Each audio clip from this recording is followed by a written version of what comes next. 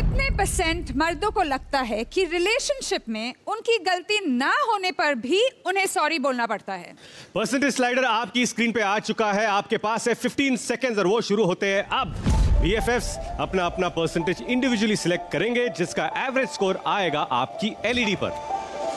वाही ऐसे हंस रहा है जैसे रोज सॉरी ही बोलता है बेचारा। भाई भाई ने परसेंटेज के साथ सॉरी लिख दिया। तो देखते हैं क्या है लेडीज़ का एवरेज तूने फिर 70 परसेंट। आइए देखते हैं क्या है जेंटलमैन का जवाब। यस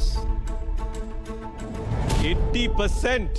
यस आपको ऐसा क्यों लगता है कि आपकी गलती ना हो फिर भी आपको सॉरी बोलना पड़ता है? आई थिंक सॉरी बोल देना चाहिए बिकॉज़ आई थिंक कलेश खत्म करो। कलेश। खत्म कलेश करो। खत्म करो क्योंकि eventually men and women are made completely differently. exactly.